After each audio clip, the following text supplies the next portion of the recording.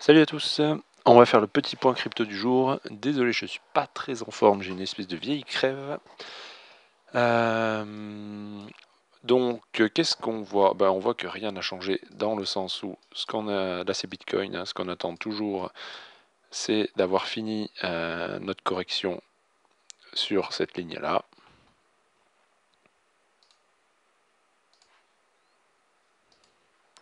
Voilà. Et là, d'être en train de faire une vague enfin l'hypothèse c'est qu'on a déjà fait une vague 1 ici, et on cherche le bottom de la vague 2 euh, pour mieux euh, repartir pour une vague 3 tant qu'on n'a pas cassé ce niveau. Ça, cette vue, je la garde, sachant que sur Bitcoin, on peut très bien venir dans ce carré vert pour se retourner également.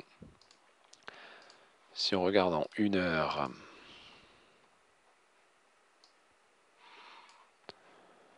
En une heure, bah, il n'y a pas grand chose euh, qui s'est passé. Euh, on est revenu tester exactement le même niveau euh, qu'hier.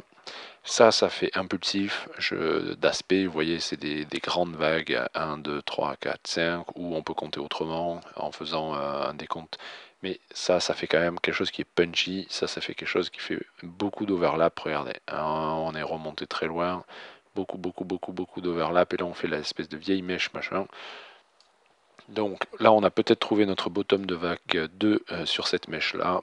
Et euh, on est peut-être prêt pour repartir. En tout cas, la décision devrait être aujourd'hui. On a bien glandé hier dans la zone. Euh, on ne devrait plus avoir beaucoup de place pour glandouiller aujourd'hui.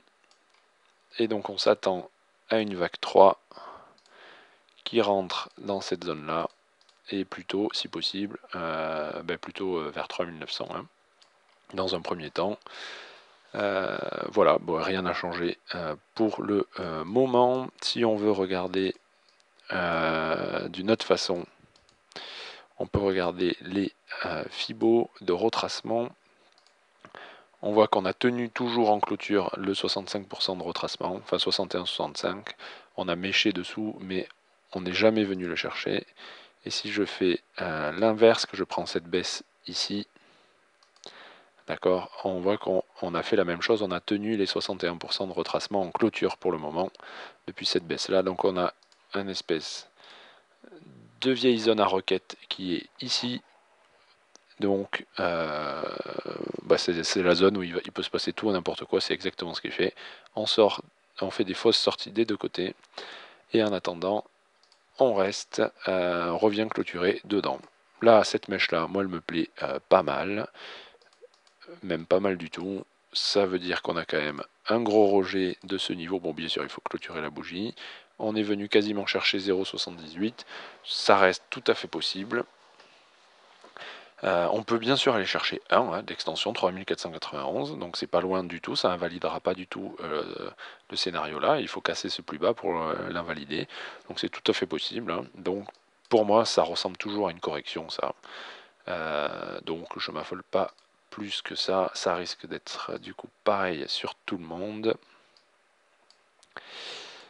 Euh, oui d'ailleurs sur Bitcoin Up, on peut avoir un truc très simple pour avoir un avis de l'évolution.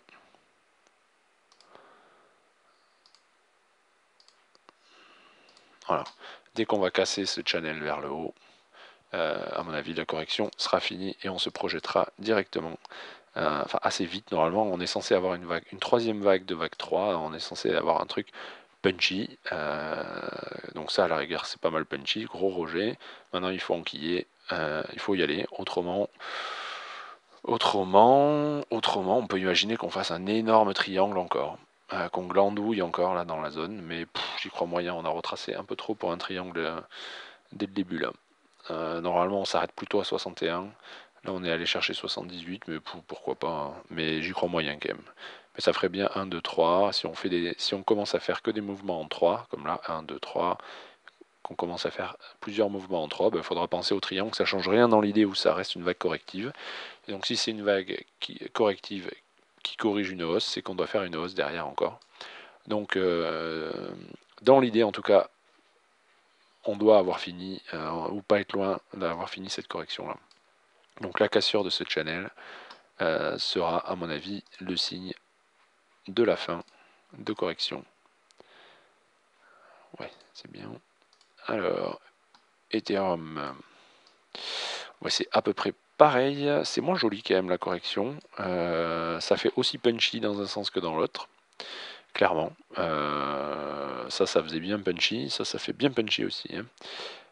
Ce qui est intéressant de voir. Alors attendez, là il faut que je vire des channels qui servent à rien. Parce qu'on les a cassés.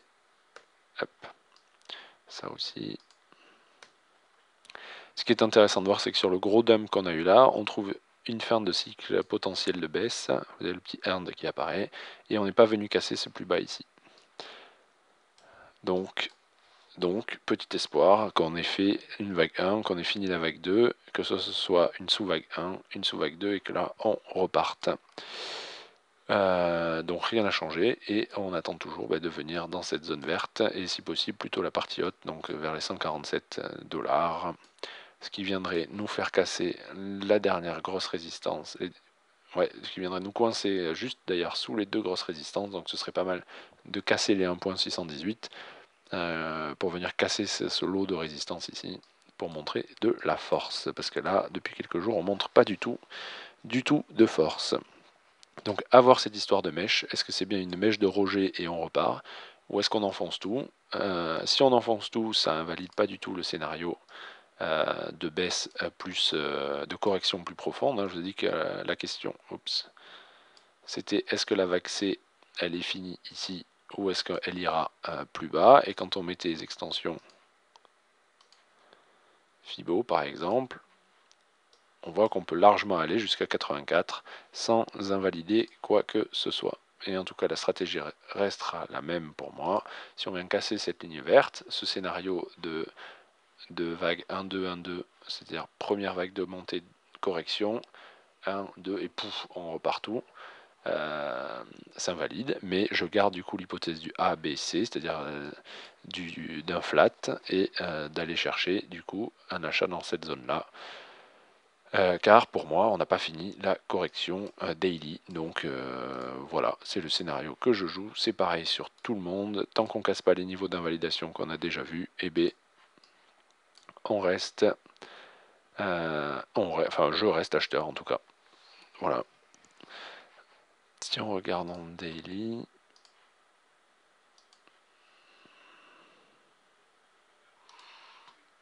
on voit qu'on on n'a même pas retracé 61% de, la baisse. Donc, euh, vous voyez, hein, c'est pas du tout euh, un mouvement bire pour l'instant, un mouvement très bire. Hein. Donc là, euh, qu'est-ce qu'on est en train de faire? La même chose partout, c'est-à-dire on a tenté de monter, on corrige, et la question c'est est-ce qu'on fait une correction? Un peu plus complexe ou est-ce qu'on fait euh, directement euh, le départ vers le haut Voilà, bon, rien n'a changé, effectivement ça met un peu de temps, comme je vous ai dit, pardon, ça va se résoudre aujourd'hui, ben, car on commence à plus avoir beaucoup de place pour baisser sans invalider. Si on regarde en 5 minutes, ça ressemble à rien ces bougies. En 15 minutes. Ah bon, en 15 minutes, on n'a pas de divergence. Bon, eh bien, on va voir. Hein. En tout cas, on a retrouvé bien la Smart Money 15 minutes ici. On n'est pas passé loin de l'invalidation, effectivement. Ça n'a pas, manqué beaucoup, mais écoutez, voilà. Comme je vous l'ai dit, hein, euh, les rachats se font dans ces zones-là, se font toujours contre le niveau invalidant, sachant que le vrai niveau invalidant, il est là. Hier, on l'a remonté, mais tant qu'on casse pas, d'ailleurs, Tant qu'on casse pas ça, la vague 2, elle peut toujours venir se foutre un peu plus bas ici. Hier, j'avais anticipé qu'elle était là. Donc du coup, j'avais remonté l'invalidation de ce scénario ici. Car effectivement, tant qu'on casse pas ça, on peut, supposer que la vague 2 est ici. Tout simplement. Donc, euh, eh bien, on va voir. Hein. Wait and see, wait and see. Euh, en tout cas, il reste, comme je vous dis, plus beaucoup de place vers le bas pour, euh, pour invalider. donc, résolution aujourd'hui et la cassure de ce niveau invalide juste le scénario d'une vague 1-2-1-2, c'est-à-dire un scénario très boule, mais pas du tout, euh, n'invalide pas le, deuxième scénario boule, d'accord, enfin boule mid-terme, ok, qui est la grosse case verte. Euh, voilà, ben, c'est à peu près tout. Et oui, juste je voulais vous dire, du coup, quand on rachète ces zones-là, on rachète contre le dernier plus bas. Ça sert à rien de racheter, de mon point de vue, à 50% de FIBO et mettre le stop loss sous, sous 61% FIBO. Parce que tant qu'on n'est pas venu casser le plus bas, votre achat il est toujours valide. Hein.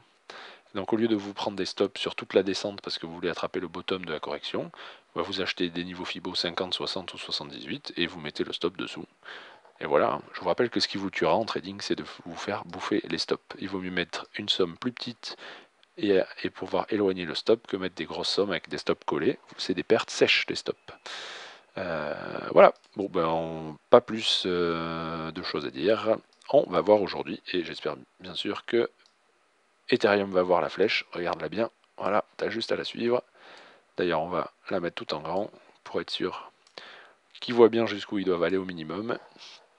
Voilà, bonne journée à tous.